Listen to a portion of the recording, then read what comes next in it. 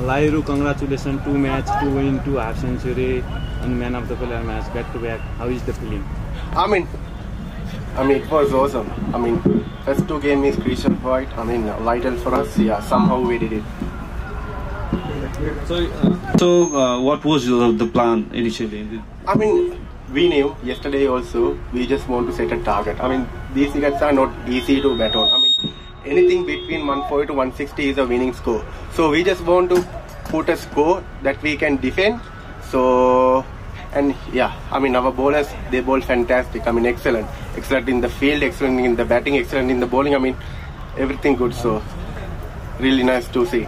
You are you are scoring runs, but at uh, another end, uh, another batsman is not giving uh, the time with you. So is that any problem for you? I mean no. Uh, so I mean I told them so okay. I mean if you hit four dot balls, we can catch in the next over. So it's fine. So just keep batting till the end. No need to hurry. No need to panic. Just bat bat, bat 20 overs. That's it. I mean uh, yesterday also. I mean our captain he helped me a lot.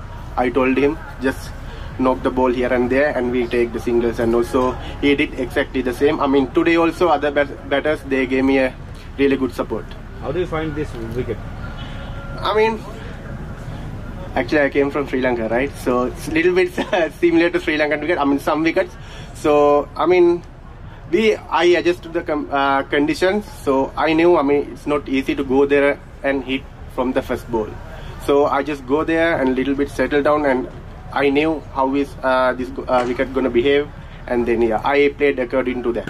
How was your experience in Nepal and playing for Lumbini All Stars team? I mean, it was wonderful, amazing. I mean, our management, our owners, they are real. I mean, I don't have any words to say. I mean, I don't. Uh, I mean, I can't describe it. So they are really good. They are too good. I mean, they are supporting us very well. I mean, even the hospitality is amazing.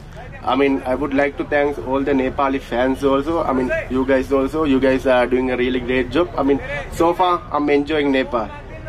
Thank you. Thank you all the best. Thank you so much.